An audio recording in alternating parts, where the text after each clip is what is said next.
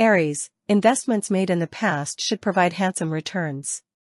Your travel stars appear to be strong, so you may be going on a trip outside of town. You can become committed to walking or jogging your way back into shape. Using creative solutions at work will probably impress the important people and enhance your reputation in the industry. You'll discover that you're at the top of the academic ladder. It is feasible to purchase a new home. Lucky number is 1. Red is a lucky color.